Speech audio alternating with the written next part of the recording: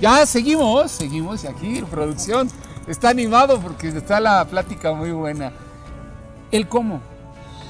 Lo que, lo que yo creo categóricamente eh, eh, lo puedo expresar es que claro que Andrés Manuel López Obrador, candidato ayer y presidente de la República hoy, tenía un buen diagnóstico de lo que le sucedía al Por país supuesto. y de lo que le dolía. Pero lo importante a veces en la vida no tan solo es tener buenos diagnósticos, sino como el médico. Ya te diagnostiqué qué es lo que tienes. Sí, señor, lo que quiero que me diga es usted y cómo lo remediamos. ¿Cuál es la medicina adecuada? ¿Cuál es la acción adecuada? ¿Cuál es el programa adecuado? Y ahí es donde nos hemos quedado cortos en lo que ha sucedido en los últimos tiempos. Así de sencillo, ¿eh? Yo reitero, no basta, no basta saber qué nos duele. Hay que tener la capacidad para decir, como repito, en materia de salud, en materia de educación, en materia de combate a la violencia. No tan solo estar todos los días señalando que cada año y cada mes y cada día rompemos récord de muertos, de desaparecidos, ¿De feminicidios? de feminicidios, que es verdaderamente terrible lo que está sucediendo. Y no basta solidarizarnos y, y- y- y tener o mostrar empatía o mostrar afinidad y solidaridad con quien vive una desgracia. Ya lo que necesitamos es acciones más contundentes. Y mira, te digo, dicho sea de paso, en materia de violencia, pues hay países que en muy poco tiempo en el mundo han logrado cosas. La tolerancia siempre ha sido cero, ¿eh? Y perdón que comente, pero Singapur es un país que en muy poco tiempo, con una impresionante decisión de combate a la delincuencia, acabó. Y hoy es una nación de lo más tranquila, de lo más vivible y donde la sociedad puede caminar de día, de noche, con la seguridad de que sus bienes, pertenencias y su vida está segura. Y no se nos olvide lo que dice la teoría política, Juan. La primera obligación del Estado, del Estado, es garantizar paz social a sus ciudadanos, cuidado en sus pertenencias y salvaguarda de sus vidas. ¿Qué ocurre en este país? No, No está ocurriendo. no está ocurriendo. ¿Qué va a ocurrir para el próximo gobierno? Pues necesitamos que haya una alianza, una coalición incluyente. Y lo voy a decir con toda la intención. Y todos los que nos están viendo y escuchando van a saber hacia dónde está dirigida esta, como dirían los beisbolistas, para ponerme acercándome. A tono con. No, no, con en una bola de esa de con, con screwball, una, curva. Una ¿no? curva, una curva. No se puede gobernar nada más con los cuates, es no aconsejable. Sí vas a tener lealtades, muchas lealtades. Pero para gobernar bien eso es insuficiente. El señor que sabe mucho de béisbol debería de saber que para que la novena funcione, no basta que sean mis cuates. Hay que saber batear, hay que saber cachar, hay que saber leer las señales, hay que saber fildear. Es decir, en cada área en la que se tiene que gobernar, no basta la lealtad. Es totalmente insuficiente. Necesitamos la capacidad. Y sí hay capacidad en este país. Sí, no, de que la hay, la hay. El que, el que parece que no quiere tomarle en cuenta por las evidencias que están en todo el país y en todo el gabinete es el presidente. Yo no hablé de quién, yo nomás yo te sí, dije que sí, que yo bastaba. sí, yo sí, Bueno, yo sí. Hace Pero falta- eso no me alegra, Juan. No, no, Eso no me alegra. no. Eso verdaderamente me, me- me duele porque, ¿A quién le va a alegrar? pues porque yo sí veo que a veces se quiere gobernar con los más leales o presuntamente más leales. Pero el primer deber de lealtad del presidente debe de ser a la nación mexicana, a los ciudadanos, a ti, a mí, a quienes nos, nos pueden estar viendo. Y ese deber de lealtad hacia nosotros implica denos seguridad, equipo de gobierno, denos salud, equipo de gobierno, denos obras de infraestructura para que este país tenga una buena infraestructura, gobierno. Si no lo hemos logrado, pensemos en quiénes y cómo podemos lograr que aparte de buenas intenciones se rodeen de gente capaz.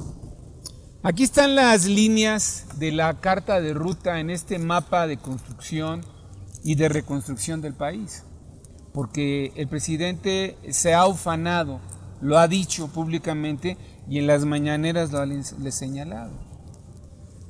Son leales, les Sí. tengo confianza, Sí. son mis amigos. Este, el secretario de Gobernación es mi, mi brother, casi casi mi hermano, mi Y, y- cuate. y mira que lo conocí en una legislatura de la que yo fui parte y es un buen hombre. Eh, está bien, Adán Augusto es un buen hombre. puede ser un buen hombre. Y es muy leal al presidente. Y es muy leal al presidente. La pregunta Eh, es, eh, Él es de los que ahorita todavía están en veremos, te voy a decir por qué.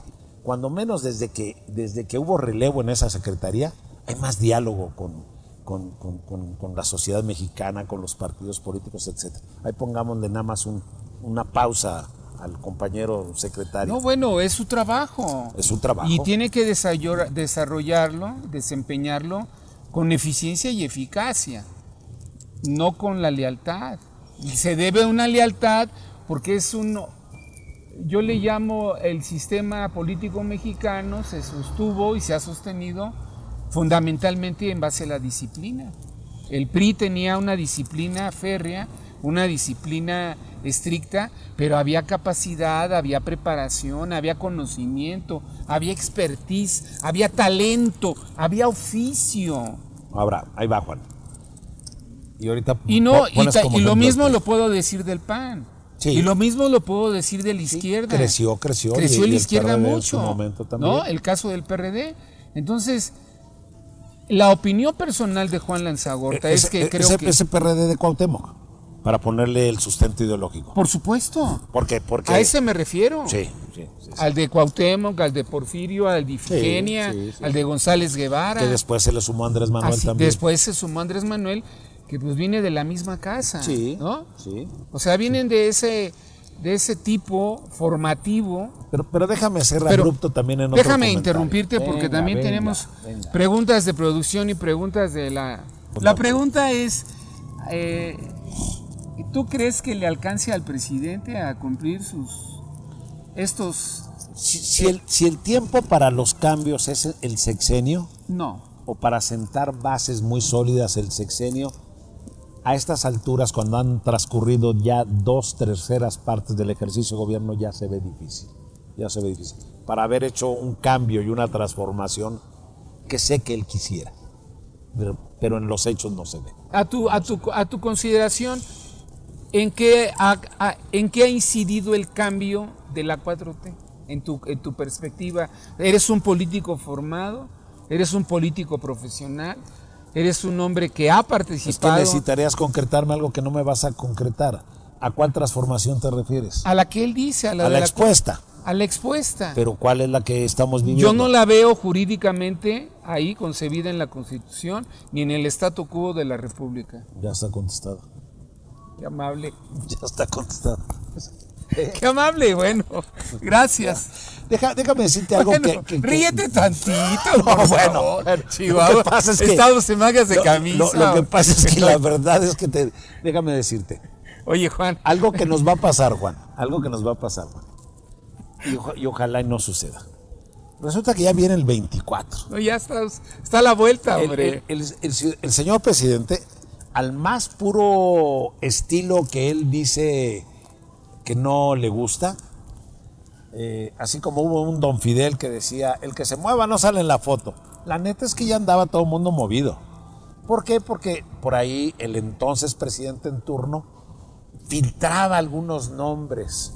Esto ya tiene una historia de Sí. muchísimos años.